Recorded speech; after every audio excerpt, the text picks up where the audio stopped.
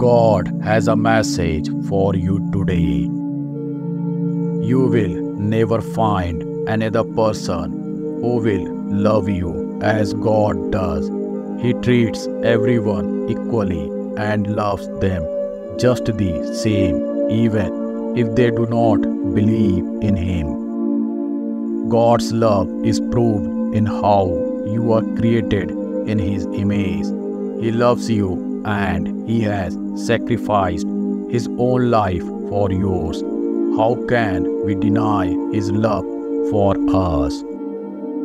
God made us in his likeness. We are made to be like him, and thus we should reflect God's love for us in all the other beings that he made for us.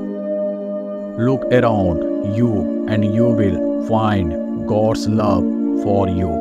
It's everywhere and God loves you even more than you love your child or your family. Most of all, God's love will never fade. When you understand that God loves you, you will have nothing more to fear. You will know that God wants the best for you, and everything happens for a reason that He has yet to disclose.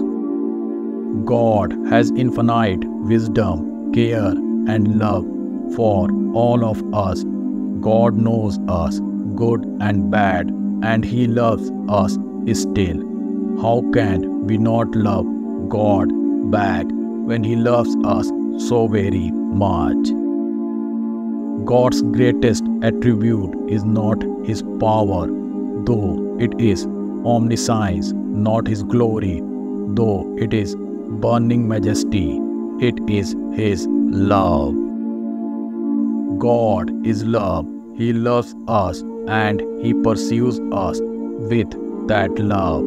And when I experienced his love, I was able to share that love with others I appreciate the love God has for me.